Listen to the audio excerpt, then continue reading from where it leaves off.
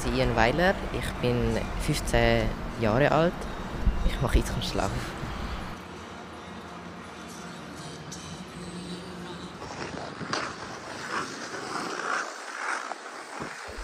Ich bin zum Eiskunstlaufen gekommen im 2018, als ich mit der Klasse sind wir aufs Eis gegangen in Schaffhausen und meine Klassenkameradin hat dort Eiskunstlauf gemacht und dann, sie hat mich so fasziniert, dass ich heimgegangen bin und meine Mami gesagt hat, ich möchte auch mit dem Eiskunstlauf starten.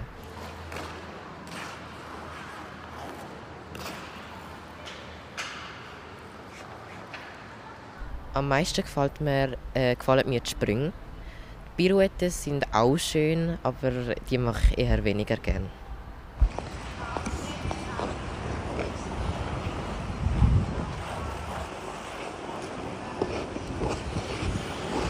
Trainiere pro Woche ca. 20 Stunden. Und du machst auch noch die Schule. Wie bringst du es dann äh, unter einen Hut? Also, es ist eigentlich gar nicht so stressig. Es ist nicht schwierig im Moment, aber manchmal geht es so an Grenzen. Aber es ist, ist alles okay.